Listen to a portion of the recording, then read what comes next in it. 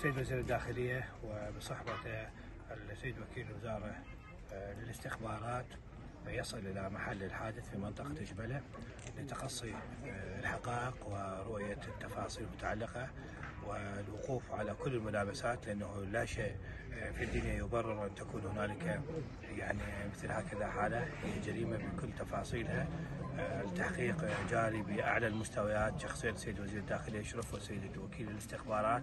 وأيضا آه، قائد الشرطة ومعرفة بكل منافسات وظروف الحادث الآن الأدلة الجنائية وأيضا ضباط التحقيق.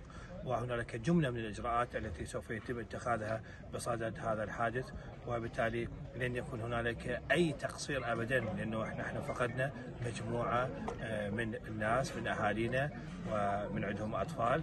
وبالتالي التحقيق سوف يكون سريع وعادل ومنصف بإذنه تعالى.